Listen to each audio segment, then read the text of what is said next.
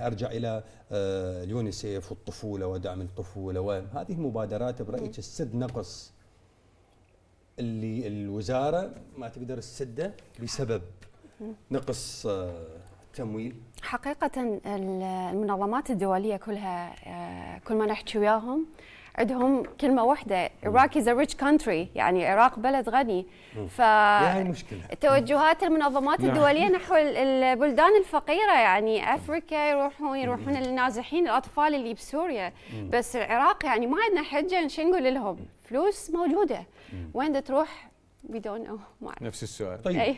أه خلينا نرجع لهذه المبادرات. هو نفس السؤال. الكل نسأل. والله كله وقع برأس وزارة المالية. إن شاء الله معالي وزير المالية. لنا لقاء حتى نفهم إيش قد مخصص الوزارات وين جاية تروح صحة تربية تعليم هذا بالكامل. ولو إحنا سبق أن تحدثنا بهذه المعلومة بأن الموازنة تجي كل سنة تروح إلى الوزارات لكن خزينة الدولة فقط النفط والوزارات تأخذ من عندها لكن ولا وزارة تسلم إلى خزينة الدولة. في حلقات سابقة تحدثنا عن هذا الموضوع. فأكيد أكو مشكلة هم تحول إلى وزارة المالية.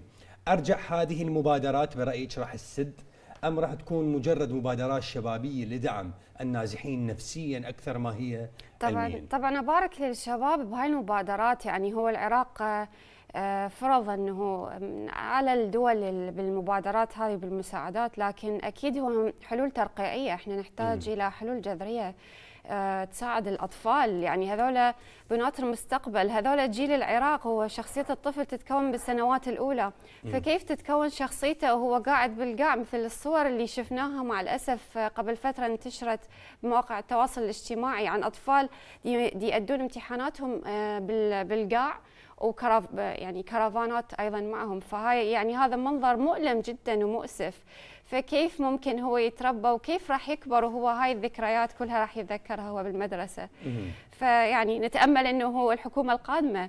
آه يعني إيش تعني من الحكومة القادمة؟ نتأمل إنه تخلي ميزانية للتربية اللي هي بناء الجيل القادم ويهتمون بالطفولة.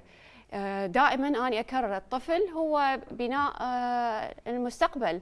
هو لبنة العراق. فإذا ردنا نبني العراق هو بالأطفال.